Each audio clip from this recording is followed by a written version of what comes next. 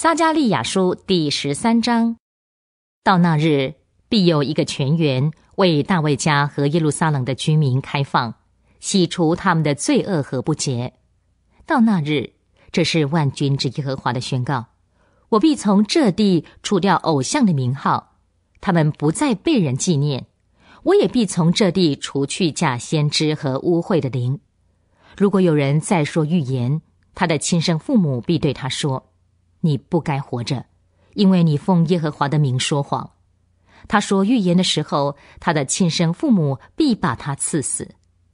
到那日，假先知说预言的时候，每一个都必因自己所论的意象而羞愧。他们必不再穿兽毛衣服欺骗人。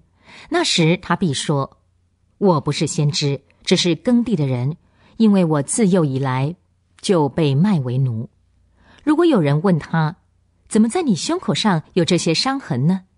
他就必回答：这些是在爱我的人家里所受的伤。刀剑啊，醒来吧！攻击我的牧人，我的同伴。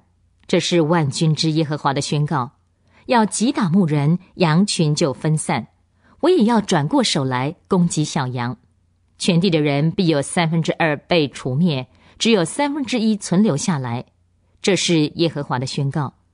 我必使这三分之一经火试炼，我要炼尽他们，像炼尽银子一样；我要试炼他们，像试炼金子一样。